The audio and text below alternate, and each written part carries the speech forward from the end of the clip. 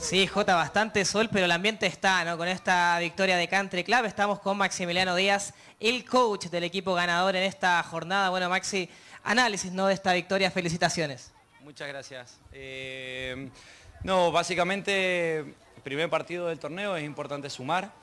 Eh, nos fuimos encontrando mejor a medida que fue pasando el partido y bueno, eh, terminamos, terminamos eh, concretando jugadas que habíamos entrenado mucho.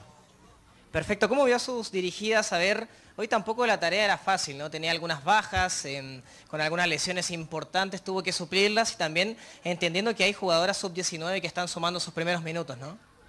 Eh, no, las chicas se sumaron, se acoplaron bien, están entrenando, tenemos las, que tenemos en selección que la verdad que suman un montón y el equipo está en construcción, entonces sumamos muchos a las chicas del sub-19 que nos aportan eh, frescura, buen físico y buen palo.